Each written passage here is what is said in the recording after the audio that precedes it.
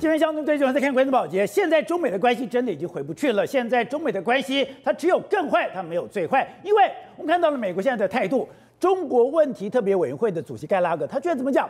他说，美国未来十年的政策将为未来一百年来奠基。他现在跟我讲，我们以前对中国一厢情愿的时代已经过去了，现在已经不是一个以礼相待的网球战，而且这个什么，这是决定二十一世纪人民生活样貌的生存斗争。他不但是他这样讲。连雷蒙多现在他的晶片法案不是出炉了吗？晶片法案出炉，他讲的非常清楚，那不是一个产业的问题，那是一个国家安全的问题。现在的晶片法案要满满，我要满足五角大厦的需求。五角大厦需求就代表现在每一件精密的军事设备，每一个无人机，每一个卫星，我都要仰赖半导体晶片。但是现在美国百分之九十以上的先进制程都是来自台湾，这是什么？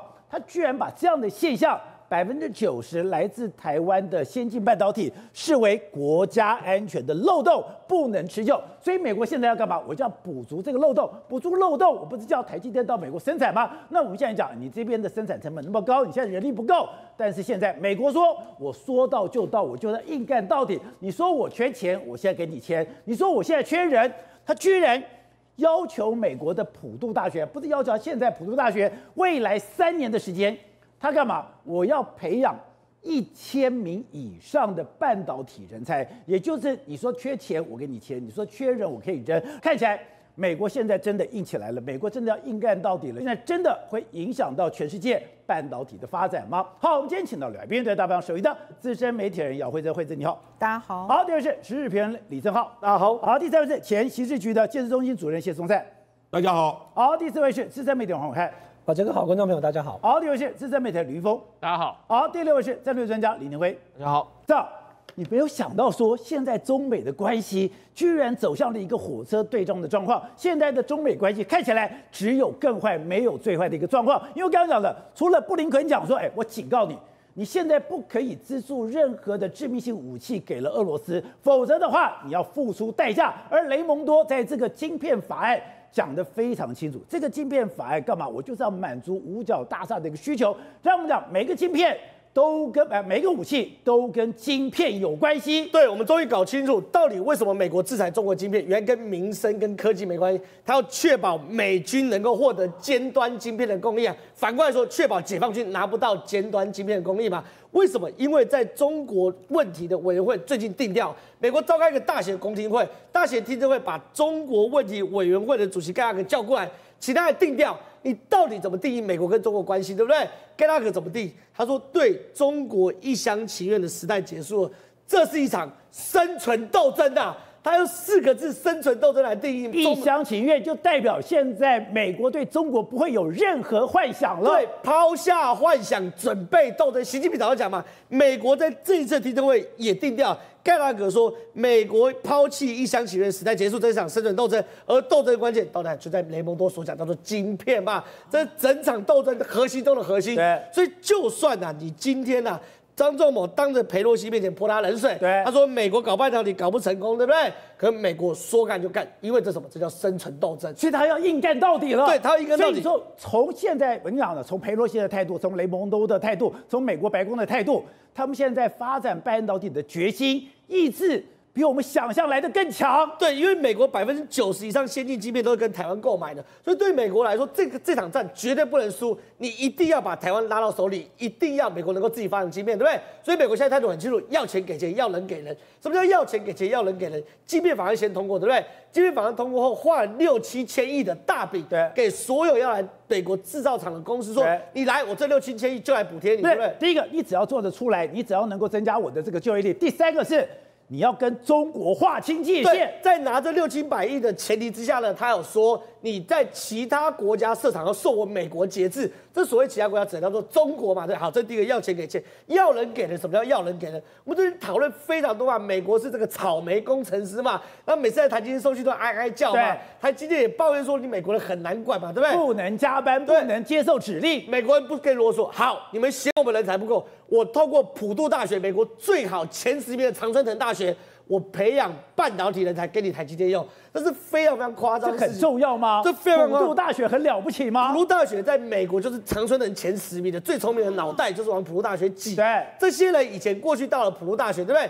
优先选一定是电脑科学，他要去 Google，要去 Microsoft，要去玩 Chat GPT。可问题是，普渡大学现在竟然开一个学程。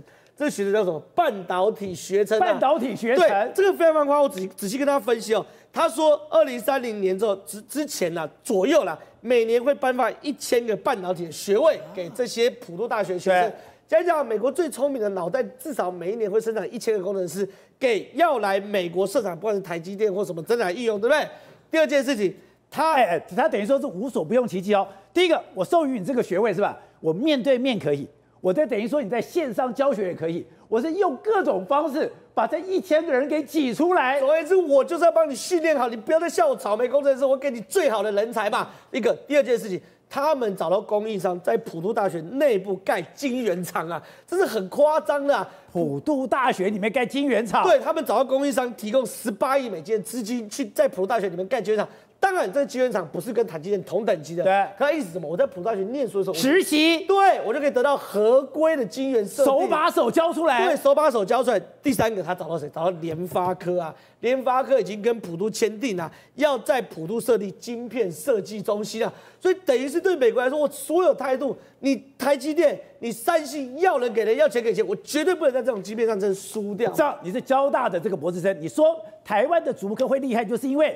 他把竹科的产官学完全的绑在一起，也就是今天竹科的老师叫清华交大的老师，然后今天新竹科学园区的人，我是彼此可以交流。我今天在竹科训练的人，我到了工厂可以马上训练，那我更简单。我今天不要搞一个科学园区，跟跟一个大学绑在一起，我根本就在这个大学里面搞一个晶圆厂。是，所以我看到普鲁大学内部设晶圆厂之后，当然第一个是宣示美国态度，我绝对会满足你台积电人才要求。第二件事，我就看到他改变美国人才训练方式，以及改变美国最聪明的脑袋选科的方式啊！美国过去最聪明脑袋都要进 Google，我打软体，我要在冷气房里面，我搭了马马、城市马就好。可 Python，你我你要我穿无尘衣，你要我厚重，你要我雕制成，我不想要。可 Python 现在普渡大学，美国你今天想进长春藤，想进最好学校，对，就有个学生在那边叫做做半导体，你要去搞，你搞了，而且我给你最优惠的待遇，对我给你最好的设备，而且我国家已经把它定调为国家生存战略存亡之际，就是你那些最聪明脑袋、最容易吃苦的、最愿意蹲下来扎马步的进这边，你学到产官学荣耀的时候。对美国来说，一部分给台积电，另外一部分增加美国自己半导体实力嘛。而且我觉得很夸张是，他说普渡大学的这个晶圆厂，还有普渡大学这个学程，他也可以得到美国晶片法案资金的支持。是，所以这背后不是普渡大学自己灵机一动的嘛，是由美国国家力量在背后推动的嘛。那未来如果普渡大学推的成功的话，哈佛大学会不会推？麻省理工会不会推？加州理工学院会不会推？如果这些最好学校都推的话，会不会改变美国最聪明脑袋选科系的部分？所以美国要走上制造业强国，在晶片上面跟中国一较雌雄，它是全方位的在跟中国去做 PK 嘛，对不对？虽然张忠谋泼冷水，为什么讲裴洛西说我不会被你吓到？原来美国政府早就想好了，早就想好，我不可能因为你张忠谋破了水，我的止步不前嘛。可是问题是，现在美国一切估计，至少这十年还要靠台积电嘛。所以大家在问，为什么台积电会是那个天选之人，或者说为什么台积电是那个天选的公司？原来只要从张忠谋毕业的第一份工作开始算起，其实美国就开始考核张忠谋，这是很有趣啊。对我本来也搞不清楚，最近不是出了一本新书叫《晶片战争》，《晶片战争》里面就提到了一段。原来张忠谋，哎，他不是得到美国政府的合可哦，考核过的哦，他是得到了美国五角大厦的考核的。我我我我我这样讲哦，美国现在对于台积电信任是分两部分，一个是对于张忠谋个人信任，一个是对台积电本身能力的信任。对于张忠谋个人信任，早在张忠谋刚毕业几十年前就开始考核他。另外一个对台积电这家公司的信任，二零一七年才开始。我一个个讲。张忠谋那时候刚毕业的时候进到德州仪器叫做 TI 嘛，Texas Industry 在 TI 去工作。大家不要以为 TI 只是做一些科研仪器公司，美国最重要的核威慑武器义勇兵二型就从所谓的这个德州德州出来，德意出来的。对，德州仪器出来的。但是我们常常讲嘛，义勇兵三一现在都义勇兵三型啊，冷战时候是义勇兵二型。那时候一打打一万公里，如何可以在射程一万公里又可以精准控制，其实就是靠晶片。当时的晶片呢，其实就已经在德州仪器出来了。更很有趣的事情是，张忠谋第一份工作就在德州仪器，他在德州仪器里面搞什么呢？对，搞电，那时候比较级别叫电晶体啊，搞电晶体生产的良率。所以换句话说，那个时候如果在冷战的过程中，美国跟俄罗斯的核威慑最重要关键是伊永兵二型的这个核武器，而伊永兵二型的核心技术是电晶体，而电晶体的良率生产负责人叫做张忠谋，全张忠谋会不会被考核过？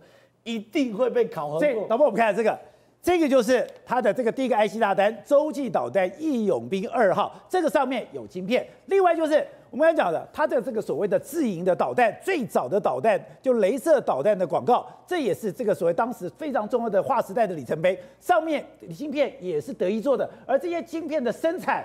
都跟张忠谋有关系。对，当时设计的是确保美国在美苏冷战中可以获得战略优势的核子攻击武器。所以张忠谋这个人一定受过非常严格的军事考呃五角大厦审查，这是确定的。另外一件是台积电，台积电其实哦，我美国信任你张忠谋，不代表我美国信任你台积电哦。台积电其实在二零一五年之前，美国都不信任台积电的。美国其实，在二零零四年的时候，它有做到一个叫做可信赖晶圆厂计划。那时候由 DAPA 推出，美国美五角大厦黑科技的的部门嘛，DAPA 就说我到底有哪些可信赖晶圆厂可以变成我美国军工产业？对，只有两家，一个叫 Intel，一个叫 IBM。哦，根本没有台积电。二零零零四年的时候没有台积电跟 IBM。对，因为这两个都美国公司。可到二零一五年的时候，有件事出事了，格罗方德啊。阿布达比主权基金的格罗方的买下了 IBM，对，那时候美国发现，哇塞，我没有其他代替的啊，我有两个公司嘛，我只有 Intel 不够，对，所以二零一五年发现，我永远要有一个备案，对，我的第一只脚断了，就开始考察全世界芯片厂，那时候能考察还不多，要么就三星，要么台积电，对不对？可能二零一六年、二零一七年的时候，二零一七年美国美呃 DAPA 颁发 FPGA 芯片给供应商，叫做台积电十六纳米啊。二零一七年，美国认可未来台积电的十六纳米进入到美国 FPGA 军用产业。为什么？因为当年台积电吃到 iPhone Face ID 的大单呐，对，那是第一个商业化运用成熟的类神经网络晶片。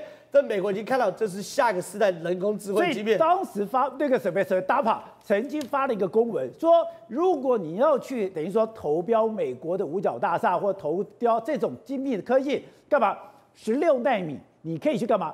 先找台积电谈一谈，这就是一个认证啊！所以换句话说，台积电的整个部分，从创办人张忠谋被美国考核过，到二零一七年他的整个技术被美国考核过，都是 OK 的。所以现在美中大战已经紧迫到什么程度？我跟大家讲，华为可能要被全面封杀哦，连东南亚、连中国的成衣厂，美国都不准你用了。我先讲成衣厂，这全面封杀，对，这很夸张。先讲成衣厂，现在最新的一些讯息是这样子哦。美国的买家或美国的商务部开始要求，未来中国的呃台湾在中国做的成衣厂要完全跟中国脱钩啊。简单讲，这两个这种竞合关系，连 F 三十五里面磁铁我不准有中国的，我可能连军用的衣服都不可以有中国的，它要完全脱钩。另外一件事情就这个，华尔街日报最新的，美国可能撤销对华为的出口许可证，这叫什么？叫做全方位的撤销。现在华为呢还可以做一些云端啊、养猪啊、太阳能啊、能源。美国商务部在思考，我是不是连晶片都不让你用？我未来呢要连你所有不止晶片不让你用，你的太阳能、你的能源、你的养猪、你的电脑，我全部都要把你挂掉。所以中美对抗到这边已经紧绷到极致。喂，所以雷蒙多讲说，今天晶片法案出炉，出炉就是什么？最重要是要满足五角大战的需求，而且你现在所有的武器都跟晶片有关，那有趣了。那在刚刚讲的《晶片战争》这本书里面就特别提到了。那为什么美国开始把这个所有的武器加上晶片？原来是跟越战有关，然后呢是跟这座桥有关。那这座桥什么？这座桥叫做韩龙桥。这座韩龙桥当时吧丢了多少？就丢这种炸弹，丢 M 幺幺七这种炸弹，丢了六百三十八颗，丢了六百三十八颗。这座桥居然完好如初。宝杰哥，美国为什么现在会这么厉害？就是因为它能够精准打击，而且掌握方向。全部的来源就是这个越战的韩龙桥开始的。当时他们也没想过怎么样能够对于敌军造成严重的伤害，因为他根本伤害不了。我今天一个拳击手很厉害，我拳很重，打不到。我打半天都挥空拳以后，我就没有用了嘛。这个韩龙桥在北越是一个重要的军事据点，旁边有防空基地。那美国一直想说，我只要把这个韩龙桥打断了，它的补给没有了以后，打个叉，我就可以打下这一块防空基地。但是它就是炸不掉韩龙桥，你知道吗？那个炸弹 M 幺二七飞弹是很久了哈，对，一颗三百四十公斤，火药量非常强。我丢到这个桥，我应该可以把这个桥给摧毁对。但是他丢了六百三十八颗，丢完之后没有一个把这个桥给炸掉哎，。不，我看这个很夸张，是哎，一个刚刚讲的三百四十公斤，你就算是说你上面没有炸药，你就算一颗一颗炸在桥上，这个桥也要断吧？就没想到你丢了那么多颗，刚刚讲了，炸了半天，没有一颗炸到桥上理。由非常简单，在一九六五年到一九七二年这段期间，我去看了那个资料、哦，美国当时的空投宝杰哥，它的误差范围是一百二十八公尺，所以我今天想要丢这个地方，那我丢下去离一百二十八公尺，那就是丢不到桥，就这么简单。所以这个桥的周边方围有六百多个坑洞，不到六百三十八，因为美军后来看了以后，有一些根本没炸，所以掉下去以后连造成伤害都没有，怎么办呢？就回过头来找德仪的这个技术人员，他叫 Word，他非常厉害。张忠谋的老老，东家就是德乙，因为德乙当时已经开始有这个类似的技术了，它可以去操作那个晶片，做四个象限以后呢，放在飞弹上面。但是呢，你这个炸弹，你看这是炸弹对不对？我就是丢，那就是把它直接往下掉，但有掉它没有打到那个桥，因为差一百二十八公尺，怎么办呢？他加尾翼。它在这个 M L 七后面加上尾翼之后呢，它可以控制它的方向微调，然后尾翼再加晶片、镭射导引，经过它的微调之后呢，往它的目标方向进。以前在那个年代都是用真空管导引，可是，在越战哦，他当时美国到越战去遇到两个问题，第一个就是它的起飞的时候，它整个炸弹的震动造成影响；第二个，它的真空管呢湿气太重的时候也受影响。越南太湿了。和常常有一些战略根本就没炸了，所以呢，韩龙桥这件事情后来换上了这个 Word 所设计的镭射导引跟晶片之后，是用电晶体了。它的镭射导引再加尾翼之后，它终于把这个韩龙桥给炸掉了。好，跟我们讲了，韩龙桥那时候叫什么？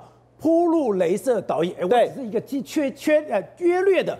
后来我到了战俘，战俘了以后更可怕是吧？我等于说，第一个我有雷达来扫描地面，扫描地面之后，我就可以跟我导弹电脑里面的这个地形做比对，比对就确定我现在是不是在我原来的位置，我有没有跑掉。如果我跑掉，也就是我今天扫描，然后跟我原来的地图不对了以后，我居然还可以导正，导正到原来的地方。他说，其实美国十几年前就有人想，我的武器可不可以这样设计？怎么做都做不出来，一直到把晶片加进来就做到了。所以一开始是真空管，到了还有铺路镭射，然后之后到雷达导引之后，慢慢慢慢加进来，它就可以做改变了。宝杰哥在三十几年前，一九九一年的波湾战争的时候，当时老布希一声令下要打这个战争，遇到两个大问题，就是它是沙漠。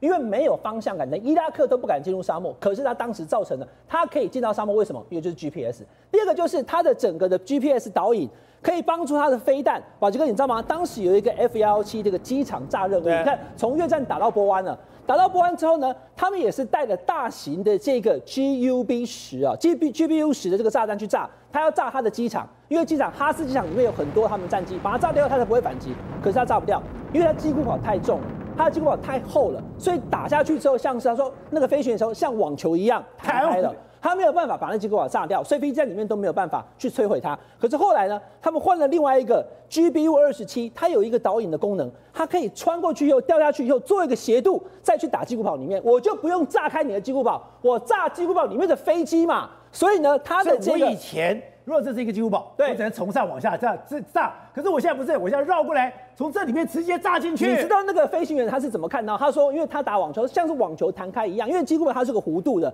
它不但后防炸，它还可以弹开，所以早就已经知道你要这样来了。所以当时它的这个 GBU 十是没有办法造成伤害的，结果呢改成了 GBU 二十七以后，配合了新的技术就可以了。那我刚刚讲哦，美军之所以强大，把这个就是掌握方向跟精准打击。在一九九一年的波湾战争的时候，当时你要知道科威特被伊拉克入侵之后，它整个科威特南部这边有没有用坦克车示意，都是重兵防守。美国从波湾这边过来以后，你一定跟我地线接触，所以我已经在南部好好的层层防卫，跟东部我要对付你了，你知道吗？当时发生什么事情？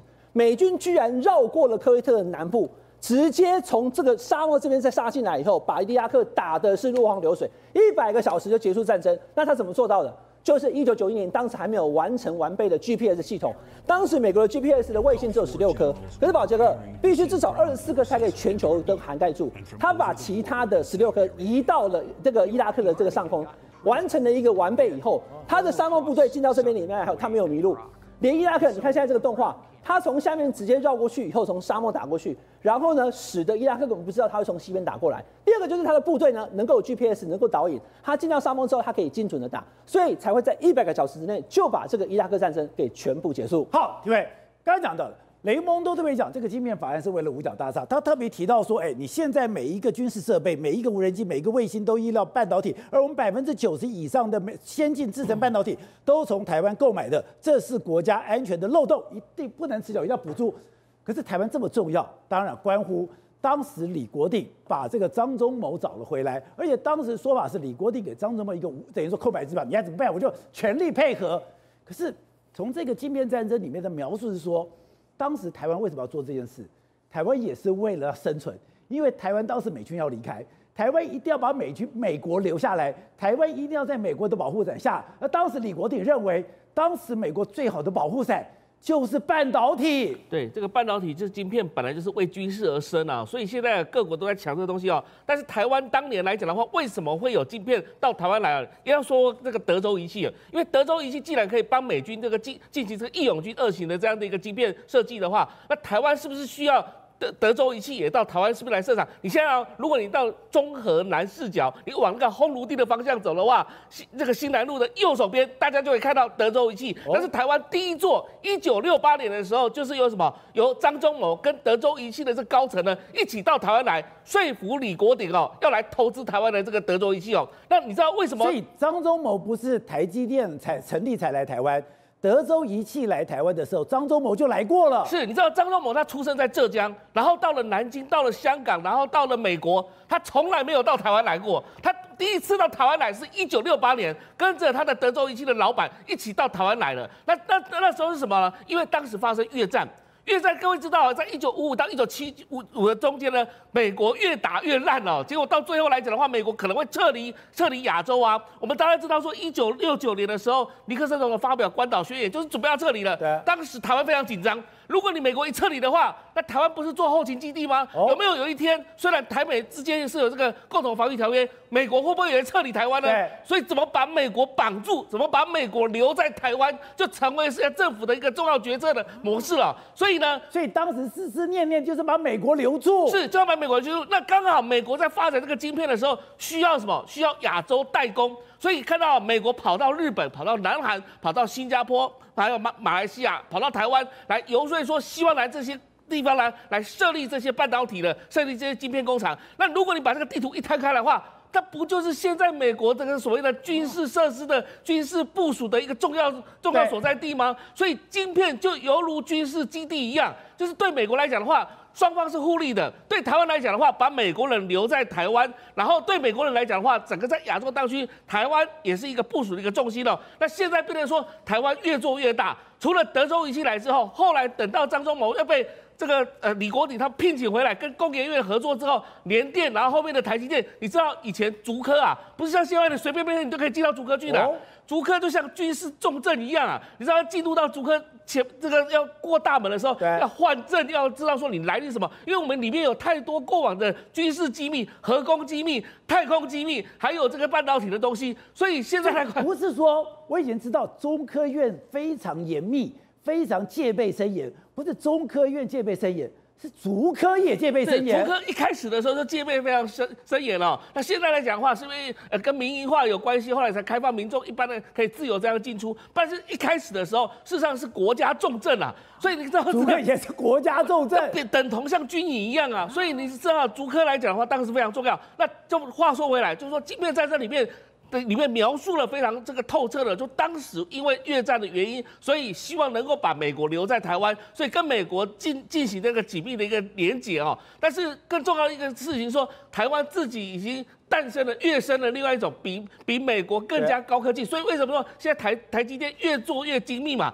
在造成说美国的紧张，而且你要讲到现在中国问题特别委员会的盖拉格讲了说，未来十年影响了未来一百年，而且现在已经不能对他中国一厢情愿、以礼相待时代过去了。这个是一个决定二十一世纪人民生活样貌的生存斗争。你说这个很不重要，就代表哪个国家回不去了，能够国家以后嘛没完全啊。对，因为他会想出所谓的生存紧要关头的这样的一个概念，这样的一个说法，就代表说他们已经美国的行政部门、国会部门早就对中国来讲，长期以来欺骗他们，已经产生这个觉悟了。也就是说，他们根本就不是在信任中国。你看，中国要发展芯片，它需要关键的东西，它关键的东西一定要美国人教他，或是欧洲人教他。但问题是，现在如果大家都给他卡脖子的话，他一直发展不起来。那我刚刚提到晶片、半导体，就是跟军工业发展是有关系的。如果中国被卡脖子的话，一直发展不起来的话，而中国委员会他们现在又把整整个中国来讲全面围堵的情况之下，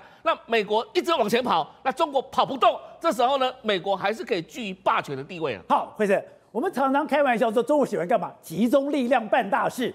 可是你从《晶片战争》这本书，你再把这个当时的过往再看，当时台湾在搞晶片，在搞半导体，把张忠谋给找回来。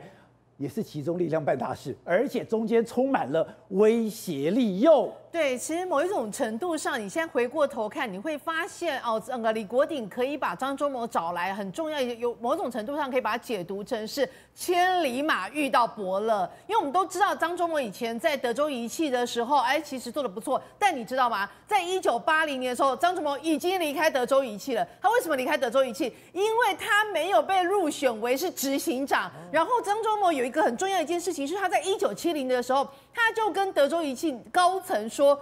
认为未来一定要把它走向一个专职代工，因为在以前他们全部都是设计跟那个制造全部绑在一起。然后张忠谋他就预言未来晶片的运用会更广泛，所以我们应该要把德州仪器变成是一个专职代工厂。所以呢，我们应该要怎么样怎么样？就跟他讲，就德州仪器高层一听就是说。嗯，你提过非常多很好的建议，但不包括这一个。包括这一所以你知道他在一九七零年初的时候，他就有这个 idea。一九七六年三月的时候，他跟德州仪器人的高层去讲这件事情，结果没消没息，人家也不当了一一回事。一九八零年代的时候，德州仪器开始在选那个执行长的时候。张忠谋没有被入选在里面，那对张忠谋的当时他已经五十四岁，他心里想说：我全部的时间跟精力都花在德州仪器上，我要把德州仪器的良率哦提到变成所有的里面最高的。对，所以他心里想说：哎，我攻在德州仪器，我从头到尾第一线参与德州仪器，我成功的把德州的德州仪器的那个良率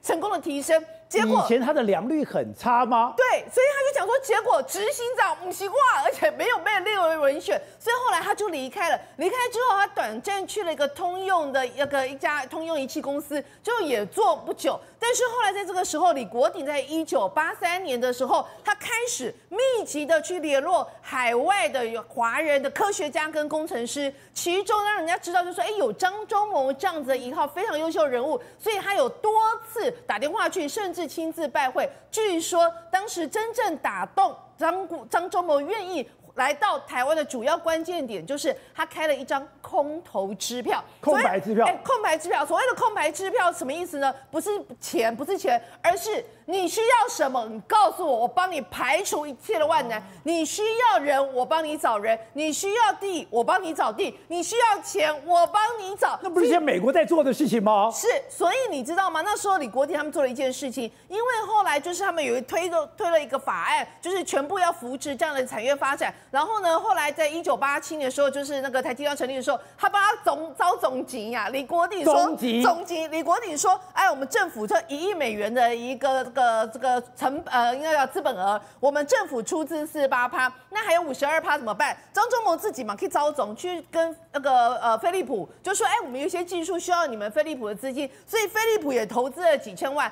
后来还差了二十几趴怎么办？就开始政府开始抠人，抠谁？抠台湾当时几大家族最有钱几大家，包括于那个永丰的那个何家，何家，然后包括台塑王家，几大家族全部都有被抠到。然后据说把有钱人找来，哎，不，因为他不是帮他讲吗？你要人要我给你人，你要钱我给你钱。所以后来他就开始找人，后来据说找到王永庆就非常有意思。一开始就哎，也因为政府出牵线，所以呢是第一次是由张忠谋亲自跟王永庆去做啊一个报告。报告完之后呢，不消不息。第二次呢就变成经济部长李达海亲自出面。再去扣我们跟王永庆就说，哎呀，我们这个有个投资计划，嗯，一样没有任何不不回复小不信第三次就由行政院长，当时行政院长于国华出面了。于国华直接讲了一句话：“你过去这二十多年来，我们对你们也不错，现在该是你贡献为国家贡献己力的时候。”意思是什么？我要你拿钱，你还在那边给我不要拳敬酒不吃吃罚酒。对你就是要把钱给弄出来。后来据说那个不是，后来台塑集团就投资就认股认了五趴，但是因为王永庆事实上他就是不喜欢这一种所谓的科技业，因为他认为科技业变动太快，你那个一个产品出来能力都 GG 啊，所以他就不喜欢投资。所以到最后他虽然投资了，你知道他几块的时候把呃台积电卖掉吗？几块？十七块。如果台塑现在有台积电五趴，那还得了？哎，有人有算过，就是说，如果他那五趴一直留到现在的话，他每年光现金配股可能一年都好几千亿。